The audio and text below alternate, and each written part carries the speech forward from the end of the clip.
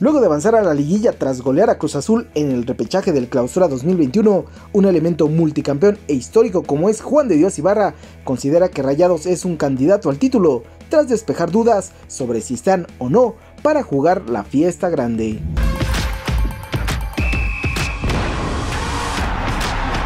Caliente.mx, el lugar donde el fútbol mexicano vive. Eh, Monterrey con muchas dudas, muchas incertidumbre, pero creo que con el partido que dio contra Cruz Azul despejó muchas de ellas. La pandilla cerró la fase regular con seis juegos sin ganar, por lo que tuvo que jugar el repechaje, pero mostraron una cara distinta cuando jugaron el clásico regio ante Tigres, la final de la Conca Champions contra América y ahora la reclasificación contra la máquina, encuentros que ganaron. Tigres lo ha manifestado en varias ocasiones eh, ese mismo sentir de que su equipo contra equipos importantes, etapas definitorias, sale más concentrado, sale más metido, juegan mejor, aparecen los jugadores importantes y lamentablemente lo que vimos en las últimas jornadas, pues contra equipos, eh, con todo respeto, no tan importantes o no tan fuertes, el equipo bajaba mucho su rendimiento, ¿no?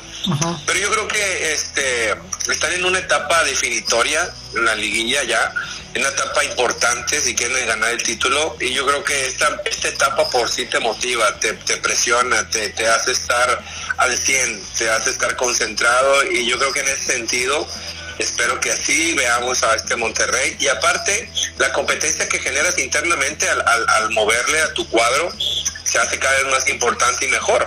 Entonces yo creo que, que, Monterrey puede, puede salir muy beneficiado de todo eso, pero bueno, faltan muchos, mucho camino por recorrer y falta pasar por un Atlas que también el rival cuenta, un Atlas que, terminó el, torneo de sublíder y, y siendo la mejor defensa junto con América. Juan de Dios espera que este semestre haya otra final regia y el Monterrey pueda enfrentar a los Tigres de Miguel Herrera, quien tiene pasado al Azul ya que los dirigió de 2004 a 2007, pero ahora es un técnico muy distinto. Creo que Es, otro técnico, a mi parecer, de lo que era hace, cuando estaba en Monterrey, lo que es ahora. Eh, totalmente diferente en, muchos aspectos. Eh, obviamente es lo que te da más de 10 años no dirigiendo. Y, bueno, creo que eh, este, están los números, las estadísticas.